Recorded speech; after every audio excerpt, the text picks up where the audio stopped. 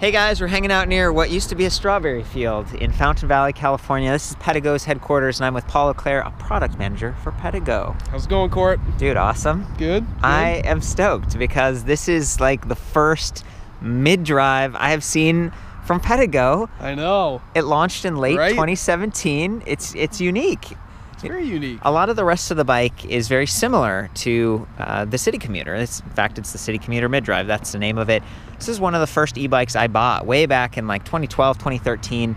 Um, you've been with the company for like s- since around then, since around 2012, right? Yep, March of 2012. You know, it's we're gonna be going in and out because we don't want to get hit by cars. So bear with us, folks.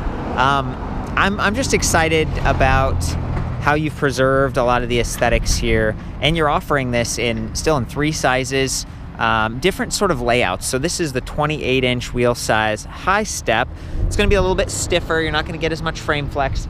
This bike still has a rear mounted battery pack on the rack and it's protected there, but weight, you know, back a little bit higher. Ideally, all the weight would be as low and center as possible, and that's part of what you get with this mid drive. But having the rear rack battery frees up the center of the frame for this nice step through. Okay, and this is a 26 inch wheel size version. They also have a 28 inch wheel size version. So those are the three like sizes.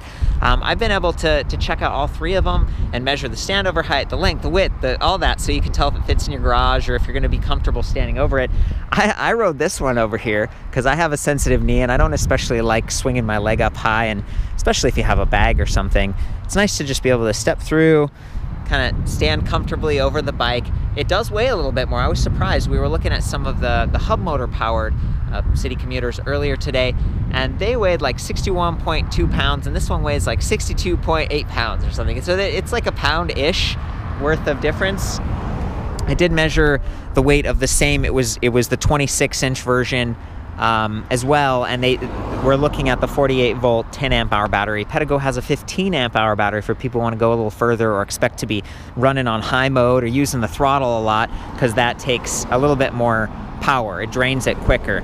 Uh, so there's just there's really a lot of options. Um, but again, the weight situated a little bit lower. It means that even though with these step through designs, you get a little bit more frame flex, you have that approachability and you don't have the hub motor weight, you have the center, which also means you can have quick release front and rear. And that's that's kind of nice. Like if you have to move the bike around or do some maintenance, flat fixes and stuff. Thankfully, I don't think that's the case very often with these because you do have pre-slimed inner tubes. That's what this green cap means right here. There's slime in there, so if you do get a puncture, it's not gonna leak air very long until it sort of heals itself, hopefully. Uh, and also, you shouldn't get too many cuts because these Schwalbe tires are really nice. Uh, so these are the Schwalbe Big Apple on the 26. They are 26 by 2.0, so you know, medium thickness. They're balancing efficiency. You'll notice the tread on this is fairly efficient. They've got uh, puncture protection, so performance line, race guard, and light skin, so lighter weight sidewalls is what that means. Reflective sidewalls, and I like the brushed aluminum color because it's going to give you that nice visual footprint from the side in addition to integrated lights front and rear. So they run off the battery. That's another reason why potentially having a larger battery is a is a great option. So both models have th- these nice reflective tires from Schwalbe, but on the the larger 28 inch, it's the Fat Frank, and this one has active line K guard. So there is slight differences, and this is the Anvil blue color. So brushed aluminum over there, a little bit brighter, and then Anvil blue. I think this is a, a really beautiful color. Where did you guys pick this from? How did that come about? Uh, you know what? Somebody uh, somebody mentioned a color similar to this, and we did a little research and and we did some background. Blue is, is one of our most popular colors, but Yeah. we wanted to take a little bit of a twist on our on our casual blue color, regular blue color, and we came up with this, and it's it's been a hit. I like it. I like it a lot. And you know, you can really appreciate the color because it's brought all the way through the fenders, through the chain cover, through the rack that's welded on, really well built, and it's got that little bungee cord loop. It even has the spring latch on top. So there are lots of options here, and Pedego has their own bags and accessories. Everything else is is pretty much blacked out. So we've got the black saddle, the black seat post, this nice adjustable angle stem that's actually from Satori, so that part's not quite right. That's a nice upgrade because the Promax ones seems like they could slip a little bit, so they've, they've beefed it up. And then the handlebars black, the grips, the tires, the lights, the crank arms, even the spokes and the hubs are black. And that's something that it's it's easy to overlook, uh, but but it part of what makes their Pedegos look a little bit nicer.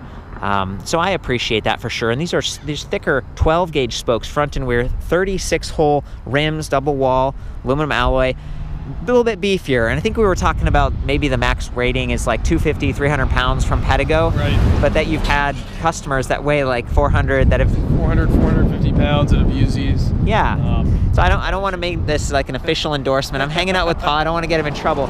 But the, the, the point is, you know, yeah, it's it's beefier stuff. Like this is is pretty heavy duty, including those those tires that are puncture protection. You want to keep an eye on the the pressure rating because if they get too low and then you hit a curb, it can you can get kind of a snake bite where the tire pushes against the inside of the rim and it uh, it pops that that inner tube in two places and that's what looks like a snake bite. So I like that there's these rubberized uh, mud flaps at the end of the fenders especially on the bigger wheels because if you're pedaling like this and you turn there's actually pretty good clearance here but I've just I've kicked the fender before myself on a couple of occasions so I appreciate that.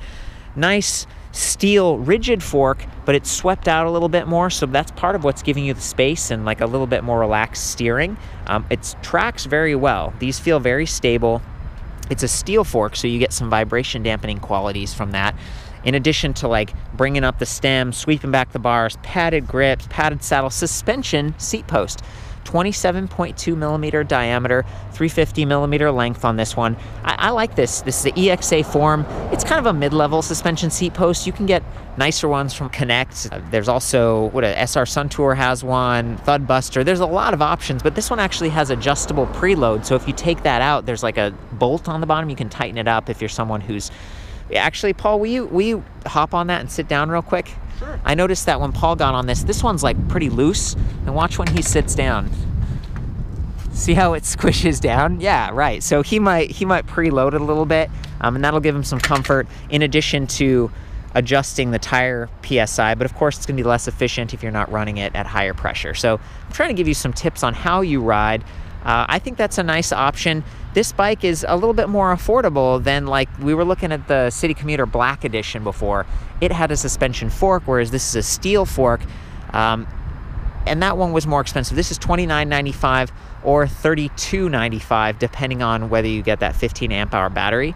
So for me, it's like, hey, I like where the motor position is. I feel like these are still pretty comfortable because of the body geometry and like the, the seat post suspension. You just don't have the suspension fork and you don't have hydraulic disc brakes. Instead, you have mechanical disc brakes from Tektro. I love these levers though. They're like four finger rubberized edge. They got the little bell integrated that keeps the cockpit clean. And then here's the rotors, 180 millimeter front and rear. That's great. That's good size. And then you have the adjustable like finger adjust tightness. Uh, so you can actually adjust reach a little bit and just sensitivity on these on these brakes. They're pretty good as far as mechanical brakes go. However, the rear brake, um, see I'm, I'm pulling on this? That's a, a metal cable that can get stretched over time and it's rubbing on that tubing all the way. So sometimes it can take a little bit more hand effort. This feels really nice though, um, compared to hydraulic brakes. That's one of the upgrade points. I don't think you have like a mid-drive with hydraulic brakes or anything at this point, right, Paul? Uh, not right now, no. Okay, Pedego's constantly incremental improvements and stuff. It, it's just nice that you have the larger brake rotors because this is a bit a heavier bike and it is fairly powerful. This is the first time I've tested the Dapu mid motor and it's amazing what they've done here. It's a 500 watt nominal, over a thousand watt peak. You can use it in pedal assist mode or throttle mode, and throttle overrides it. And that's nice for people who get to a stop sign or a stoplight and you just want help getting right off, starting off the line instead of, um, you know, struggling to pedal and get going and having to shift gears. I, I, appreciate that. In addition to shift detection, so I, I don't know if that's what this is right here. Yeah, that's correct. That's a shift detection module. So it's it's actually wired into the motor controller, and when you're shifting gears, the motor stops and it eases off so that you don't mash the chain, the sprockets, the derailleur back here. Really appreciate that. This is 12 to 32 tooth and we've got seven sprockets in the rear, Shimano Acera. That's nice, several steps up from entry level. Uh, the shifter up here, these are not always my favorite. It's like a huge, very easy to see and understand. There's a little sticker on it that you peel back. It shows you which gear you're in. So we got those seven speeds. I, am used to like the little trigger shifters down here because I mountain bike and stuff. But if you're someone who's new to biking and maybe you're wearing gloves or something, then this one's it's it works okay. Um, so I just wanted to call that out. I think one of the other reasons they use this is because sometimes there's some extra wiring and plastic down here for the twist throttle, and that can get in the way, and then the triggers bump into it. So I understand. There's always trade-offs um, on that kind of thing. And then over here on the left, you've got the buttons well within reach and the bell. Um, so coming back down to uh, the middle of the bike, we've got a chainring here with 38 tooth and it's got an alloy guard on it actually on one side. So that should help the chain from bouncing off to the, the outside. It could still fall off on the inside, but I haven't actually experienced that. And with a bike like this where you're mostly on the streets, pretty smooth anyways. Um, and then the fenders and the chain cover, they're also steel like the fork.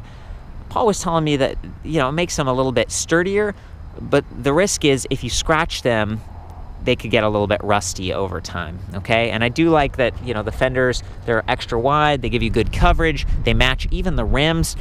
If you do get some scratches on this, Pedego includes this nice little welcome kit that includes some touch-up paint, right? It's not the right color in this box, but the point is you have the opportunity to kind of keep the bike keep the bike going and looking good. And then I love the, the charger they give you. This is a 3 amp charger. A lot of times with e-bikes, you only get a 2 amp charger.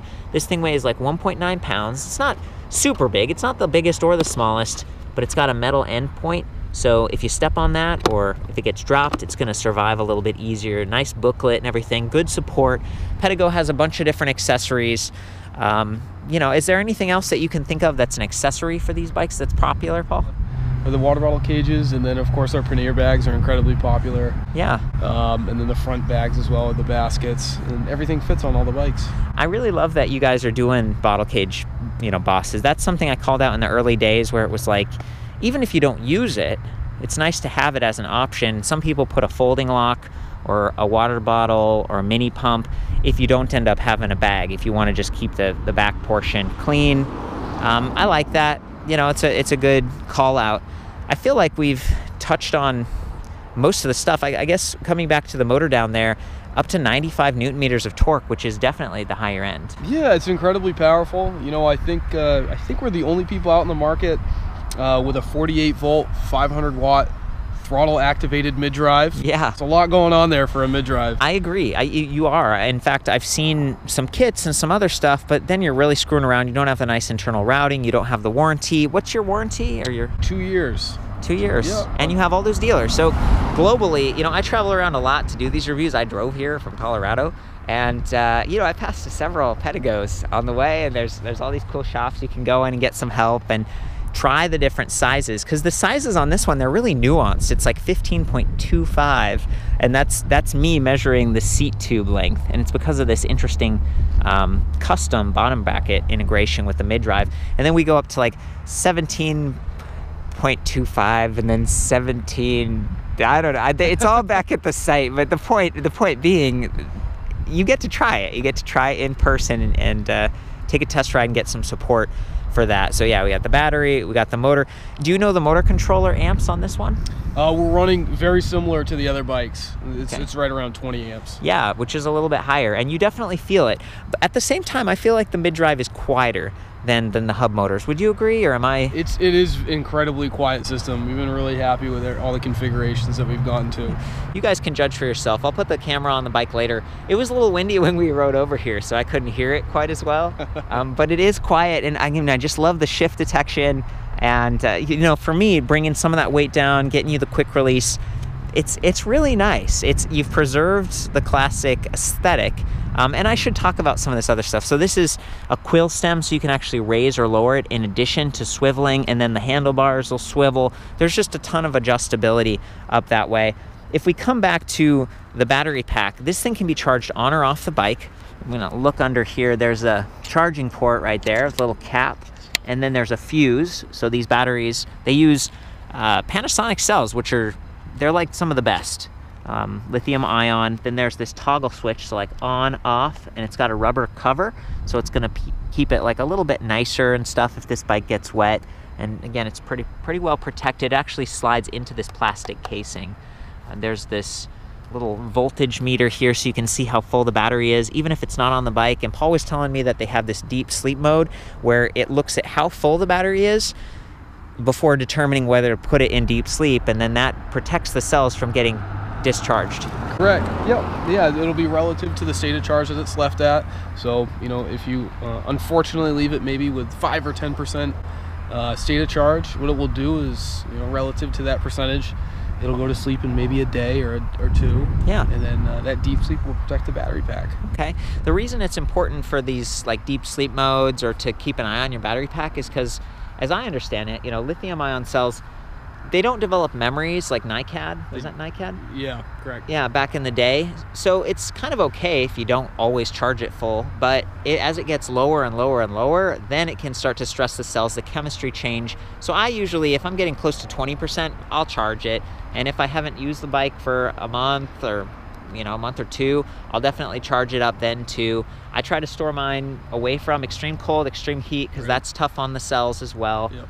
Uh, those are the tips. But you guys sell additional battery packs. We do. Heaven we, forbid. We do. We do sell additional battery packs. Something happens. So that's that's great. Uh, and then now that we're we're turned on here with the the battery pack, we'll come up to the display. It's already in the on position, but I'm going to turn it off here for a second. Oh, I turned the light on here. I'm going to turn it off. There we go. So you just tap the on button here briefly it comes up, it says 26 inches. That was the wheel size. There's a little power chart here that you'll get to see later when we're riding. Speed in miles per hour right now. Pedal assist level, we're in zero. And there are, there are quite a few assist levels. So it's like one, two, three, four, five, and then six. Six is like throttle only mode. So be careful when you're getting on the bike, when you're getting off. It's a twist throttle, and if you're if you think you're just walking the bike, if you accidentally bump that, the bike could take off. Um, so just you know keep an eye on that. It's a little bit more advanced. Paul was showing me earlier you can turn off the throttle if you want to. You can change the top speed. The Pedego sells globally, and so they have to comply with different markets. And right now this is set up as class two, which means 20 mile per hour top speed throttle operation. But if we were in Europe, it would be 25 kilometers per hour, a little bit slower. All that stuff's in here if you hold the settings buttons, and then you can go through and, and change some of that. Um, alternatively, as I did before, if you tap the power button, then the lights come on, and I just want to show you that. So you got like three LEDs in the back. It's pretty sunny right now, so you can't see it. And then we've got this Spanninga Axendo this 40 lux headlight, pretty bright, aimable. Can kind of aim it down at the road if you want to. Uh, good position there. Feels like it's it's doing a good job. And then over here we got trip distance right now. But if we press the set button, it goes to timer, and odometer. So that's kind of it. The set stuff. Do you want to briefly like walk us through those other menus, Paul? Yeah, I can right? run you through real quick. So we'll get into the set menu. We'll hold set down for just a few seconds. And what that'll do is that'll bump us into the different, the six different set levels here on this bike. So set one, we can uh, reset the trip. So there's 1.9 miles. We'll hold down for a few seconds.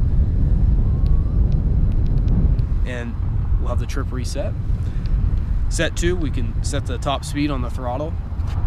That's cool. So you could lower the throttle down to like five miles per hour if you wanted. Right. Uh, I, I, believe the lowest we have the setting go to I think is 12. Oh, okay. So that's good. Maybe you're for your rental fleet or you have somebody older or really young that you don't want going too fast on the bike, then you can make some little adjustments there. Okay. That's uh, that's settings for the wheel size. We have miles per hour, kilometers an hour here. That's a good one to have. Yeah. Y yep. If you're in you know Canada or somewhere. Where yeah, metric, metric versus makes, imperial makes a little bit more sense. Uh, so the pedal assist mode here. So what we can do is we can turn that top speed off, uh, and we'll bring the top speed down to 15 miles an hour. So that's what that adjusts right there. That's just on or off. Okay. Uh, and then throttle uh, function right here, we can we can dampen that down or, or have that unlocked all the way to 20 miles an hour. Huh. So if we turn this on off, excuse me, this would bring it down to about a three mile an hour top speed. Turns it almost into like a walk mode. Right, right. Kind of thing. Okay, and then that could that could maybe maybe make this into like a class one type of bike where Absolutely. there's really no throttle mode. Absolutely. Outside of walk mode. Okay, and then I think he just held set again and, and he's out. we're back out. We're out of display. This is backlit. It's super bright right now, bright right now, so you can't really probably see it. But it's after hours, and I'm just wanted to show you what the lights look like when it's a little bit darker. So I'm turning on the display and look at that nice backlight glow. So it does that right when it comes on, and then you tap the power button again and then that's also what activates the light. And I think the headlight's, you know, pretty nice. This is the rear light that we were talking about with the brake uh, activation. It's it's pretty cool. But there's one other feature. I love this feature. If you hold set and you hold the plus button, there's this little USB symbol, and that means that it's activated this 5 volt, 500 milliamp USB Type A standard size port. So you could mount your phone right here, or maybe additional lights, or a speaker, or even like Christmas lights. I've seen people put those on the bike. That's a lot of fun. And by having that an on off setting, they're able to reduce the phantom power draw and uh, protect the battery again. So it's just like, it's a little bit of an extra step. To me, that's a fun little secret. And I mentioned a phone a minute ago. Uh, Paul was telling me that there's this new Bluetooth enabled like app that connects the battery to your smartphone. You want yeah, to tell me about that? Yeah, so we have a Bluetooth app rolling out that'll be compatible with, with uh, our new batteries right here. And those batteries are are shown by this black label right here or a specific label on the bottom. We okay. have that uh, online or you can contact us if you have any questions. Can someone buy the new battery even if they have the old bike? Absolutely. Wow, so it's it's connected to the battery and then you can use this app thing. Yep, and what the app will do is it'll give you uh, turn-by-turn navigation, has social features interacted with it. Uh, so if you want to share pictures of your bike or the route or the ride you've done, cool. you can share that with everybody. And for those of you that are part of the Pedego e-bike owners group, there's a lot of that and everybody loves sharing and it's a real it's really fun. Um, and then uh, there's service through it as well. And so if you you know if you do have an issue, if something comes up, you can post a ticket through that. We'll take a look at it. We can see everything going on with the battery and help diagnose the issue. Fantastic. And the cool thing about smartphone apps is that as they, you know, offer more features, you just update your phone. Um, so I'm, I'm excited about that. It's I love gonna, it. It's going to be really cool. It's very cool. Uh, I feel like maybe we've we've hit there's one. There's one special thing. There's something else I forgot. And it's it's little, but it's but it's pretty cool. So this is our first bike. It has brake activated. Oh yeah. Light. That's right. I can see it lighting up. That's that's awesome. So in addition to being motor inhibiting, which means you accidentally twist on the throttle, you're still pedaling, and you you want to stop. If as long as you're pulling those brake levers, the the motor stops, mm-hmm. and people can tell that you're trying to stop because your brake light's flashing. Yep. yep. Thanks, Paul. Absolutely. I'm glad you're here, helping out, getting all the details. Oh, so some things that I don't like. This big kickstand's right in the middle of the bike, and when you pedal backwards or if you walk the bike, it collides. I say that about like a lot of these cruiser bikes from Pedego. I kind of wish it was back here, but then we were talking about maybe why they didn't mount it there, and part of it is to to balance out that this bike is heavier and it's got the fenders and you know so having it at the middle I think is a strength thing. It is adjustable length. So right now we have it propped up pretty straight because we were doing photos. Um, and I think it's just something to keep your eye on. Also with the bigger disc brake, they're just it was crowded back here, so they didn't. Uh, I didn't do that. I noticed that compared to the hub motor uh, rear dropout, this is 135 millimeter hub spacing versus 142. So that's it's a minor minor thing. This also uses the 9 millimeter quick release skewers versus a threaded axle and nuts. You know, so there's just a couple little differences here. Even though these bikes look the same, um, you know, they've really dialed it in so that the experience is great uh, and and really purpose built. I think that's it. Now are we good? I think we're good. We good? Okay. Yeah. I, am gonna take this one on a little ride around and just show the motor and stuff, and then we can ride together. Sounds good. Okay. Okay, guys, I was about to hop on, and then Paul and I were talking about how the connectors have actually been upgraded here, and see how there's like a little red right there? Um, is that the brakes? Yeah, so both of the brakes have color-coded connections with a threaded connection and, a also, washer, like also, a rubber washer. Yeah, so we wanted to make things as water resistant as possible and Uh-huh. edging on waterproof. Yeah. Um, and easy to to identify and, and replace if needed. So I mean, it's just reality. Sometimes you need to replace things, so we want to make it really easy to do all that. That is nice. That is very nice. Um, I, I have seen before sometimes people steer really hard. See how I'm turning to the right and the cables are getting stretched. And if you don't have the nicer connectors, they can just pop. And then you're like, what happened? My bike stopped. So these aren't going to disconnect as easily.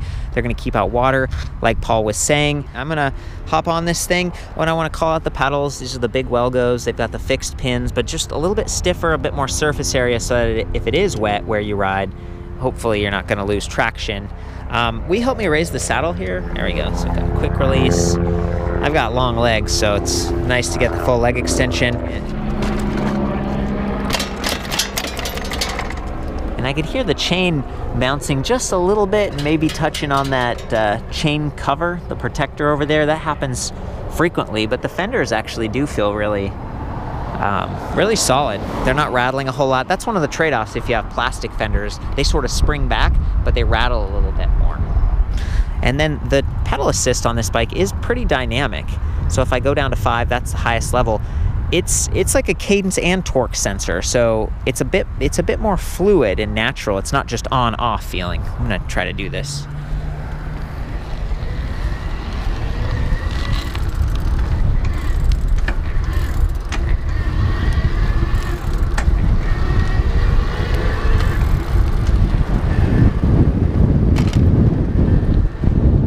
Feeling pretty good. Okay guys, from here you can see that uh, chain cover, can listen for the fenders, I'm gonna ride over some bumps, and, and then just the motor and how sort of quickly it starts and stops when I'm in pedal assist. I'm gonna start in pedal assist level five, it's the highest. And then I'm gonna do throttle mode and I'm gonna shift gears and just, I'm just amazed by that shift detector. I, I really think that's cool. It's nice to have, right? Here we go.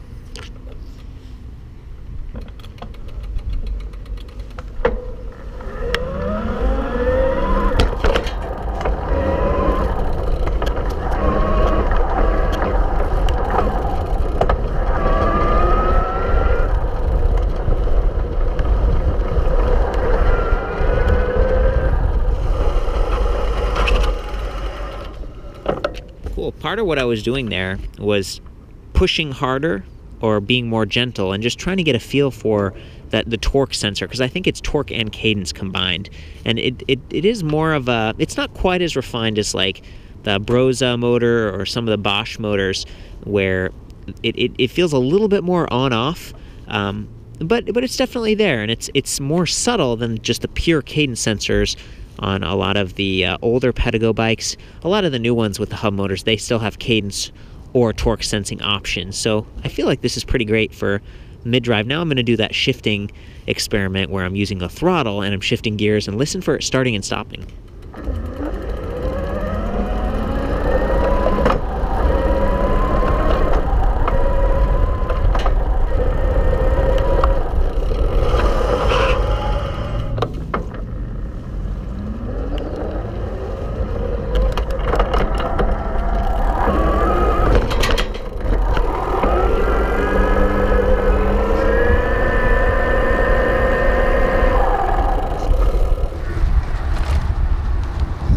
Upright body position. When you're holding the handlebars like this, there's no problem with that wobble, but if I take them off, you can see that there's a little bit of shake starting to happen. That's speed wobble. So, you know, it takes a minute to develop, but you can start to see it again. So just be careful with that, specifically on the step through frames, okay? The high step might not happen as much. It's mostly this one. And then having those brake lever inhibitors are really nice because you know, again, anytime I pull those, I don't have to worry about that motor kicking in. Or you can ride in the free ride mode, which is just zero, and then pedal assist is off, the throttle is off. I actually really like, uh, I like level six. Oh boy. I like level six because it's throttle only, and the throttle is really smooth and dynamic. So I'm just twisting a little bit, just going a couple miles per hour and then I can juice it, get a little bit more. Just keep in mind again that your top speed is gonna be kind of limited or impacted by the gear that you're pedaling in. Paul's got his sunglasses on, he's ready to ride. I think we're just gonna go out and spend some time next to each other, showing what these look like third person.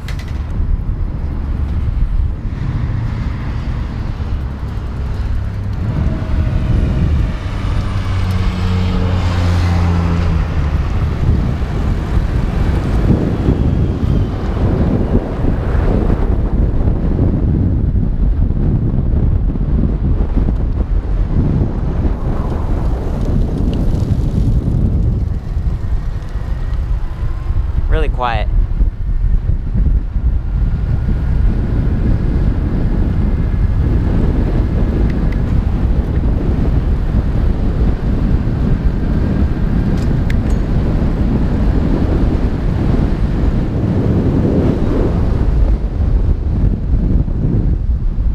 Sweet. Thanks, buddy. Well, guys, I think that's about it. We've had a lot of fun riding out here, exploring the neighborhood. For the full write-up on these bikes, including the standover height, some of the other details I measured, I'll see you back at electricbikereview.com. Of course, have fun out there. Sound off with your comments and your feedback. and ride safe.